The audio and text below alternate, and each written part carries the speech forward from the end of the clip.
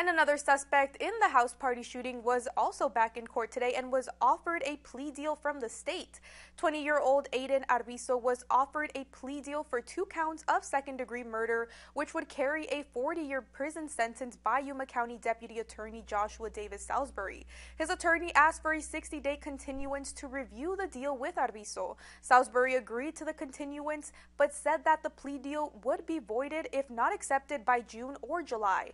Arbizo will be back in court on June 7th.